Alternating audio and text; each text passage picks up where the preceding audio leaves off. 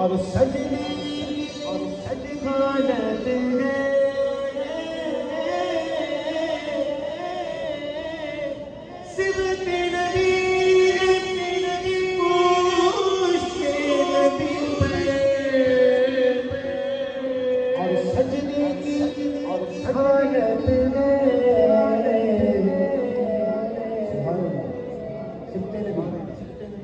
لیتے یہ ذکر کا ٹکڑا کہاں ہے؟ پشت نبی پر۔ نبی کی پشت پر۔ اور سجدے تین ہزار روپے میں۔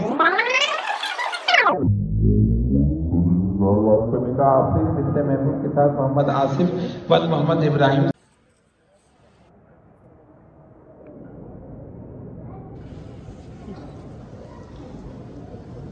محمد آصف بن محمد ابراہیم۔